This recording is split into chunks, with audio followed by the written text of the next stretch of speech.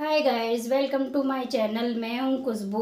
मैं आज आपके साथ बीट रूट की रोटी बना बनाऊँगी तो वो रोटी रोटी शेयर करूँगी आपके साथ। मेरे साथ क्या हुआ, मैं बीट रूट लेके आई थी बेटे को। वो ब्लड की कमी है ना तो बेटे को मुझे जूस देना था। तो मैंने कहा जूस तो पी लेगा, चीनी वीनी डाल के दे दूँगी तो पी लेगा। तो बेटे ने क्या किया, मैंने बना दिया। और जो ना जूस का जो पल्प जो बसता है ना बीट रूट का तो वो मैंने ना रख दिया था। कि पल्प वैसे फेंकना क्या रख दिया मैंने ऐसे ही।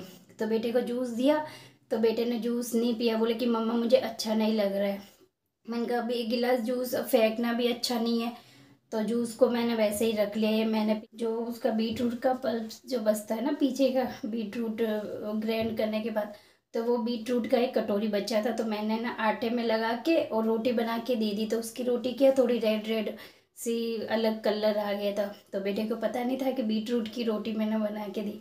तो बेटे ने बोला, मम्मा, ये कौन सी रोटी है? मैंने कहा, ये ऐसे ही रेड वाली रोटी बनाई आज मम्मा ने।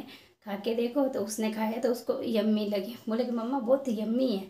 फिर मैंने ना दोबारा भी वो दूसरे दिन में मैंने ऐसे ही बनाया और जूस मैंने पी लिया और पल्प जो बच्चा आटे में डाल दिया और बेटे को खिला दिया। बेटे ने आराम से खा लिया। दोबारा बोले, मम्मा मेरे लिए यही रोटी, ऐसे ही रोटी बना के देना।